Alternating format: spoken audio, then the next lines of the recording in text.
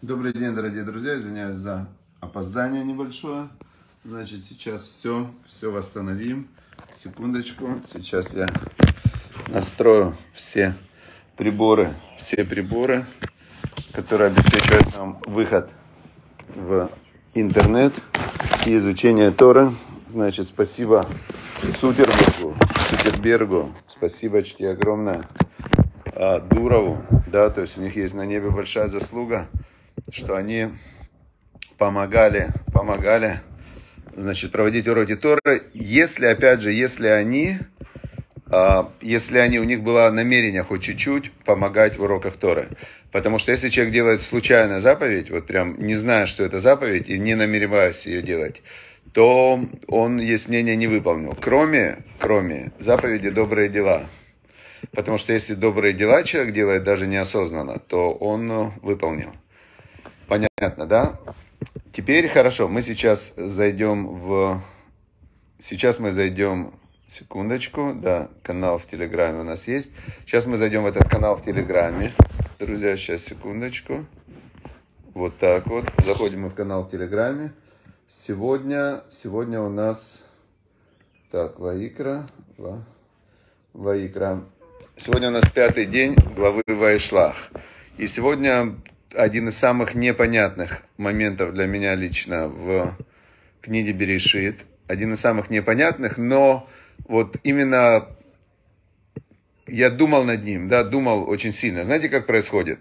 Вот человек, а, когда ему что-то непонятно, и он хочет что-то понять, а, когда человеку что-то непонятно, и он сильно хочет что-то понять, то Всевышний ему а, начинает Ваишлах, день пятый, да, день пятый, то приходит то, что принято называть инсайт. Инсайт, значит, приходит э, инсайт такой, начать запись. Вот у нас в Телеграме начинаем мы запись. Значит, приходит то, что принято называть инсайт. И открывается, открывается ответ. Равыцкак Зильбер, Захарнуцидик Левраха, он когда-то вот на уроках, он иногда говорил, я 20 лет думал над этим вопросом, я там 30 лет не мог понять. У него была, у него была такая э, история, что он э, жил в Казани, учился в Казани в университете, физика, математика, Казанский университет, это было где-то, ему было лет, скажем, 20. Значит, это было, он 17 -го года рождения, 37 год, представьте, 37 год, он учится в Казанском университете, факультет физика-математика, учится с отличием. И два часа в день он обязательно учил Талмуд. То есть у него, что бы ни происходило, он два часа в день учил Талмуд с детства, каждый день. И если он в этот день не учил Талмуд, то он писал себе долг два часа, и потом восполнял этот долг. И вот, значит, э, он э, в Талмуде, трактат Кедушин, там написано, что в Торе, в письменной Торе, пять тысяч, по-моему, 5785, например, отрывков. Отрывочков, предложений. В... Есть там измененные буквы, такая-то буква, середина букв в Торе, такая-то буква, значит, такие-то слова, дараж-дараж, там два слова, это середина слов в Торе. Такой-то отрывок, это средний отрывок в Торе, такой-то отрывок, средний отрывок в псалмах. Это написано в Вавилонском Талмуде, который был э, записан 500 году примерно нашей эры он был закончен, то есть ему полторы тысячи лет, с тех пор он не менялся. Рав Зильбер думает, о, сейчас я как раз и проверю мудрецов устной Торы. А, значит, э, проверю. И он, значит, был там старый свиток Торы, который, который у него был. Да, свиток Торы не меняется с момента, как Машерабен его записал. И представьте, он, значит, пересчитывает все-все-все отрывки в Торе. Все пересчитывает перечитывает все слова в Торе, все буквы в Торе. И что? И оказывается, то, что написано в Талмуде, не соответствует тому, что он высчитал. Потому что, например, в Талмуде написано в Торе 5787 отрывков, а там э, он насчитал 5750 отрывков, там 43 разница. Дараж-дараж, не середина слов – Значит, буква Вав большая в гигахон слове, не середина букв. Представляете? 37 год примерно, плюс-минус. у него всех религиозных знакомых, друзей, всех или в тюрьму посадили, или уничтожили и так далее. Они живут в страшной, страшной ситуации, и он соблюдает все, бамисерут нефеш, самопожертвованием, все заповеди мельчайшие, он соблюдает. И тут он видит, что в устной Торе написано неправда, не соответствует действительности. Представляете? Но он знает, что Тора это истина, не может быть. То есть Тора это истина, не может быть, чтобы столько поколений, э, мудрейшие люди, как э, Равдон Ицкак Абарбанель и так далее, они шли, умирали за каждую букву в Торе, не, не поступая своей верой. Как же он может теперь сказать, что это неправда? И он начинает, э, это у него вопрос, начинает исследование. Что оказалось? Оказалось, что в письменной Торе, в, в Пятикнижии, 5700, например, 50, 745 отрывков, как он и насчитал. А почему в Талмуде написано на 43 больше? Потому что 43 отрывка из письменной Торы дословно повторяются в Танахе, тоже письменная Тора, в книгах пророков и в писаниях, э, и в писаниях. То есть получается, что есть еще 43 отрывка, которые дословно повторяются. Значит, всего существует 5783. Дальше. Дараш, дараш. Дараш, дараш. Э, середина слов в Торе. Оказывается, в Торе есть слова как лех, леха, там дараш, дараш, Яков, Яков, Авраам, Авраам. Оказалось, что, что дараш, дараш это середина сдвоенных слов в Торе. То есть они видели всю Тору, как сейчас компьютер, у них была вся Тора в голове.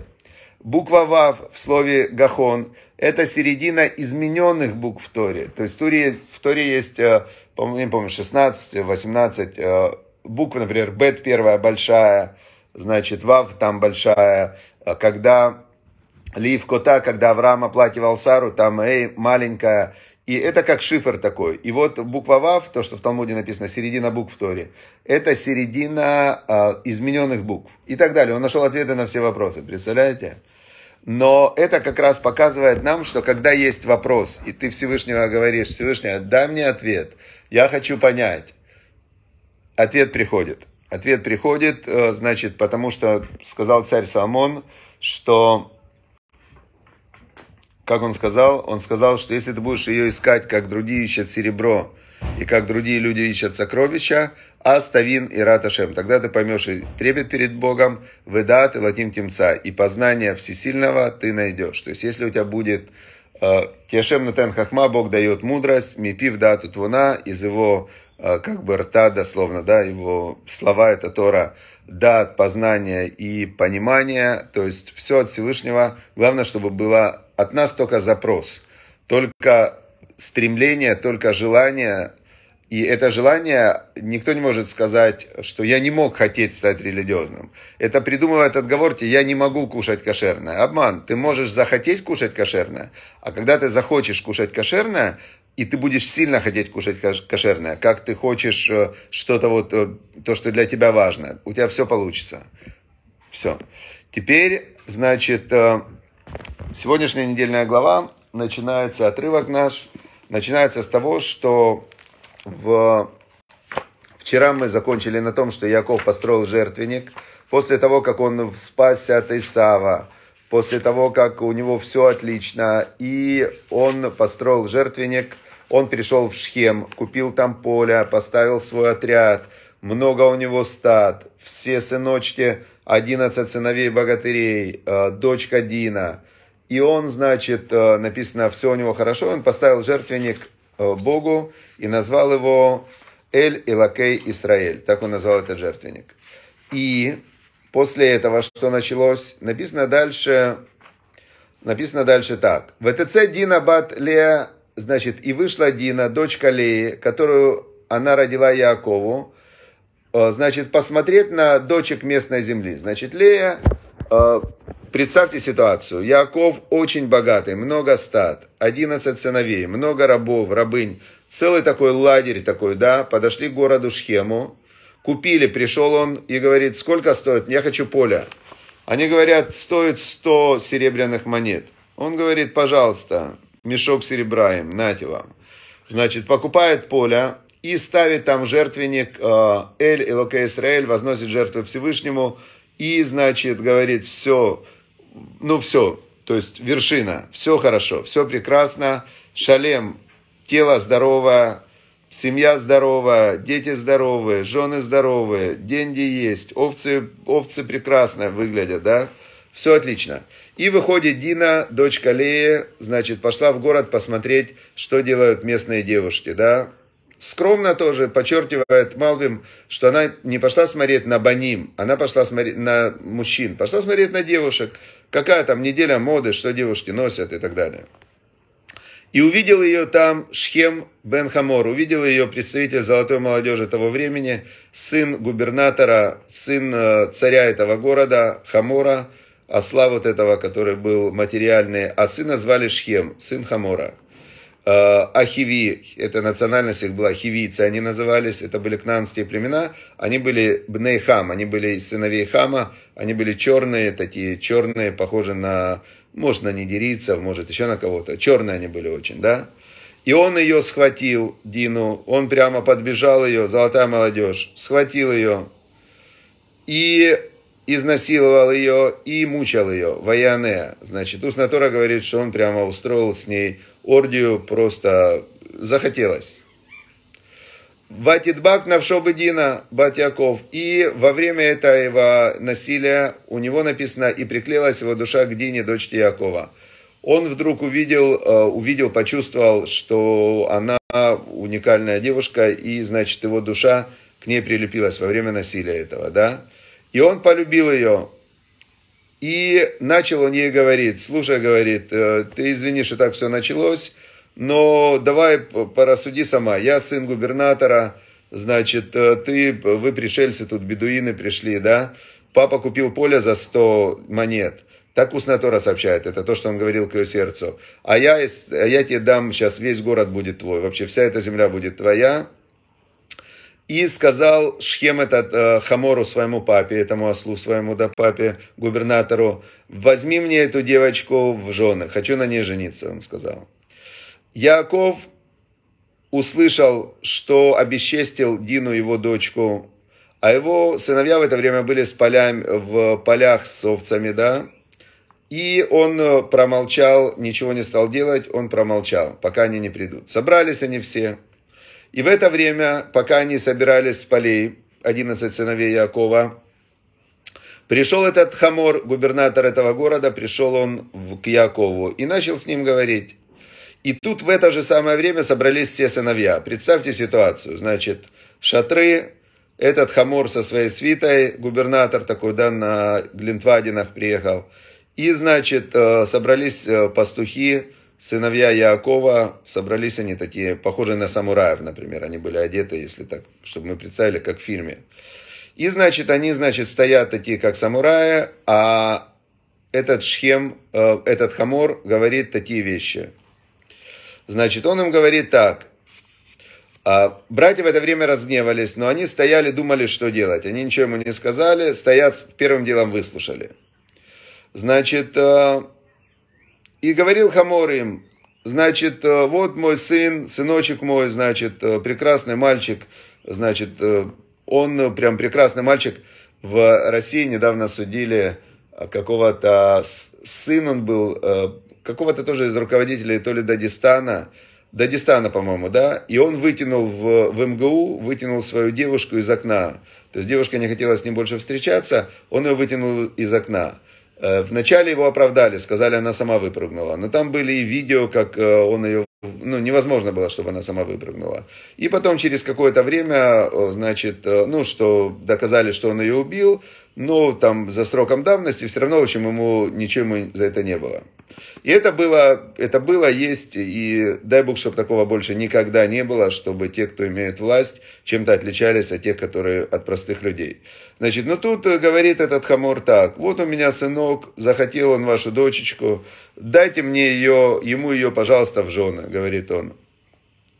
И, значит, э, и давайте вообще жениться, э, ваших дочек мы будем брать себе в жены, да, то есть мы вас пускаем, ничего, мы не как в доме, которые пришельцев убивали, мы вас пустим, можете жениться на наших дочках, а мы, э, мы женимся на ваших, вы женитесь на наших, и, значит, э, будете с нами жить на этой земле, торговать здесь, все.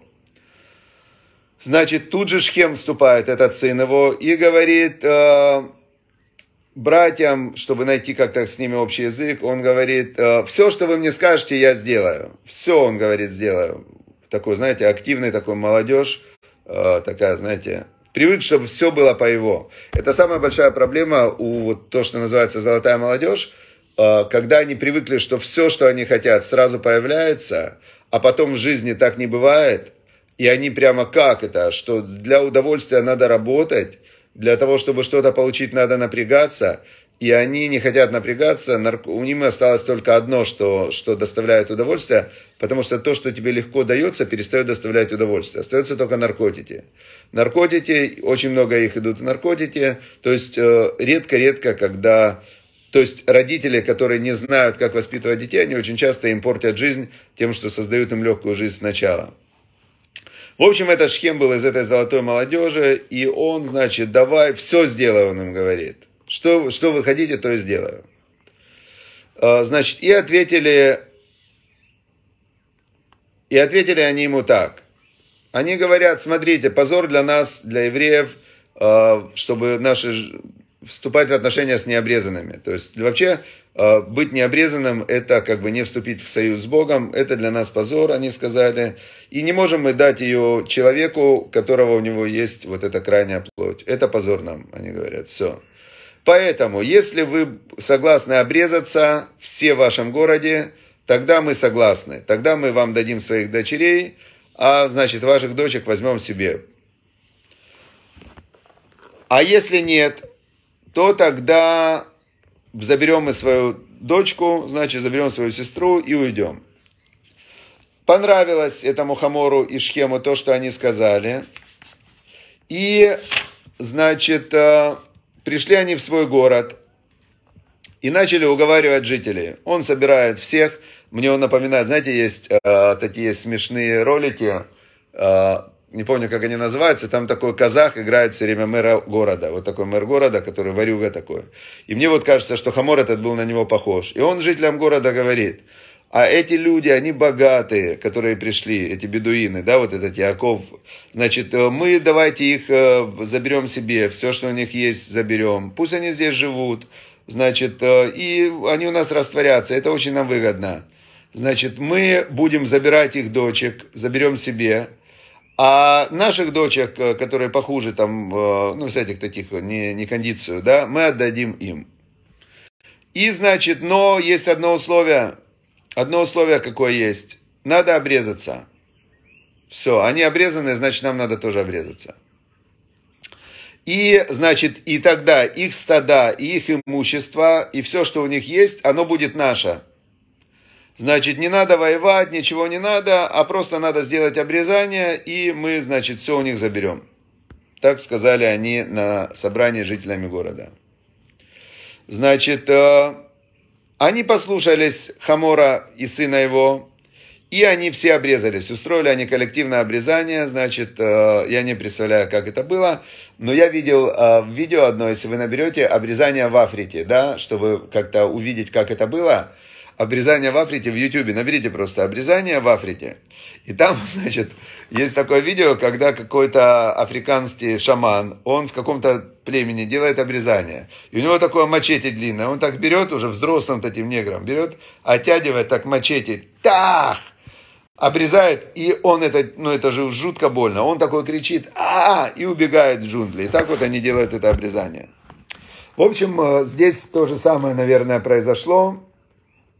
Э, значит, сделали они обрезание, и на третий день все они лежали и кричали «А!», вот так они кричали, потому что им было больно. Написано так. Воей боема шлиши, когда они были, э, у них э, были боли, значит, взяли два сына Якова, Шимон и Леви, именно братья Дины. Как вы помните, Дина была дочка Леи.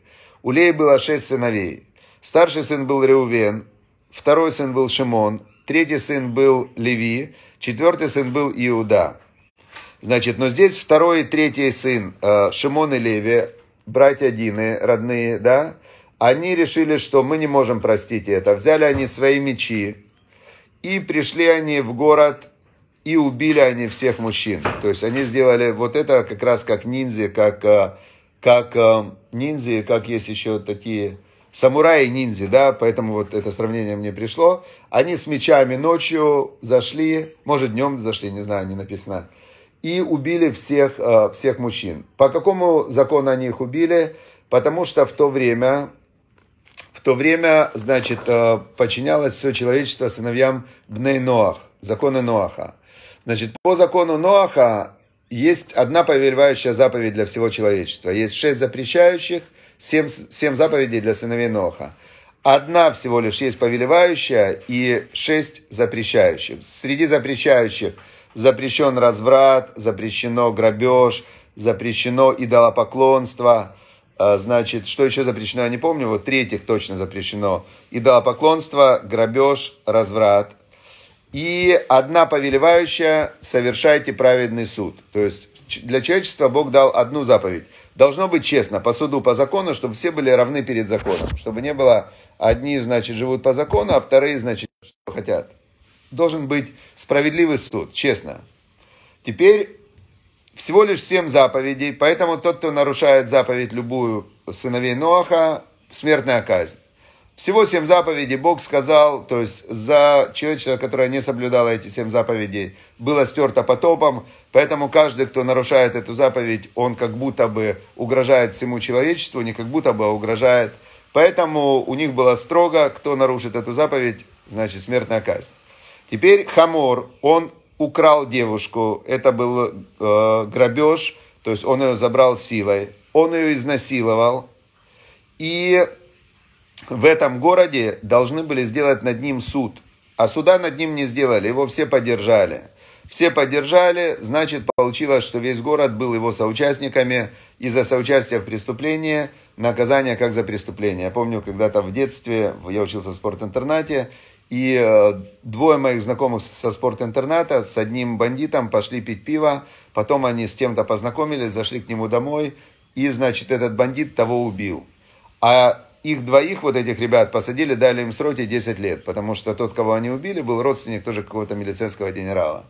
И получается, что они не убивали, они просто пили пиво, а потом видели, как убивали, и им дали такое же наказание, как тому, кто убивал. Поэтому, значит, э, братья, они вырезали по закону, вырезали этот город. И также Хамора они убили, и Шхема, сына его, они убили мечом. И забрали Дину, свою сестру из этого города Шхем. Значит, дальше, дальше я чуть пропущу, потому что я не успею сегодняшний весь отрывок дочитать, еще много. Скажу, чем все закончилось. Значит, всем закончилось тем, что Яков их поругал за это. Он им сказал, вы не должны были так поступать, вы поступили э, опрометчиво там, и так далее. Он очень на них ругался, на сыновей. Э, но они сказали, нет, мы не допустим, чтобы с нашей сестрой так делали. Яков сказал, тогда нас всех убьют. Но он забыл, что Бог на его стороне. И Бог ему сказал, я тебя буду во всем защищать. Поэтому на все окрестные народы был э, страх. И Яков с сыновьями ушли. Яков с сыновьями ушли, значит, в, из этого места. И пришли они куда? Пришли они туда, в то же место, из которого Яков вышел, в Бет-Эль, где Яков уже поставил жертвенник, который он обещал Богу. И, значит, э, Вайре Илуим Ильякову показался Бог Богу, когда он пришел из Падама Арама и благословил его. И сказал ему Всевышний, что имя твое Яков теперь не будет называться, теперь имя твое Израиль будет твое имя, и назвал его Израиль. И сказал ему, значит, Бог, что я, значит, Бог, чтобы ты умножался, будет из тебя много народов, произойдет, и цари выйдут из тебя. Но что интересно, что интересно, у меня был много лет вопрос, uh, у меня был много лет вопрос, uh, значит, за что Якову пришла эта, эта история с Диной. И два комментатора, Раши и Малбим, они говорят оба одно и то же.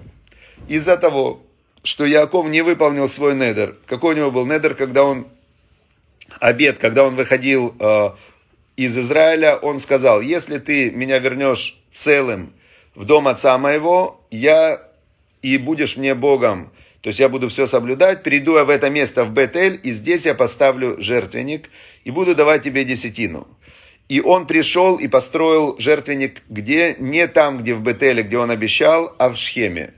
И Бог для того, чтобы его из Шхема забрать, он вся эта история с Диной была, что он вынужден был убегать из Шхема, потому что он боялся войны со всеми окрестными народами, и он пришел туда, куда должен был прийти и без этого. И вот тут мы делаем еще один вывод. Первый вывод, что то, что ты обещаешь Всевышнему, надо выполнять. То есть со Всевышним нет шуток. Всевышний это не только любовь и, и Всевышний это и любовь, и царь, и, и значит то, что называется гвура, это Дин, суд тоже, да, ее звали Дина, что все в этом мире по суду. Как сказал царь Соломон, Сов давар, а коль нишма. В конце концов, все ясно. Бога бойся, заповеди его соблюдай, потому что в этом весь человек. И он закончил там последний отрывок в Экклезиасте. Веда и знай. Коль давар явила им ли мишпат. Каждую вещь приведет всесильный на суд. Алькольный ламат, все скрытое. И за хорошее, и за плохое. За хорошее он, он смотрит сердце, а почему ты делал хорошее. За плохое, понятное дело, что будет наказание. Поэтому Яков, он не выполнил свой обет, пишет Раши и также говорит Малбим. И из-за этого произошла история с Диной. И после того, как Всевышний через эту историю, значит, э, сделал страдания Якову, он страдал, Дина страдала, то есть было много страданий, целый город вырезали, то, значит, Яков уже пришел и выполнил то, что должен был выполнить. Поэтому, если бы мы с вами выполняли то, что мы должны выполнять, не было бы никаких страданий вообще в мире. Поэтому нужно очень сильно стремиться в Иерусалим, выполнять заповеди, стремиться ко Всевышнему. И чем больше мы будем напрягаться, выполняя волю Всевышнего, тем меньше нам придется напрягаться, выходя из каких-то проблемных ситуаций в нашей жизни.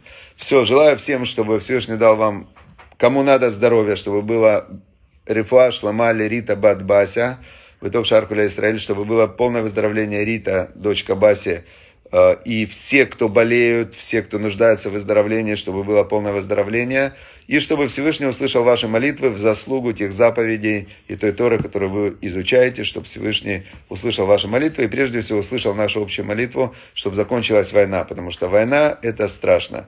В войне страдают те люди, которые ее начинают, и страдают те люди, которые попали под раздачу абсолютно не, неожиданно, ну то есть они ничего не хотели, попали под раздачу, как жители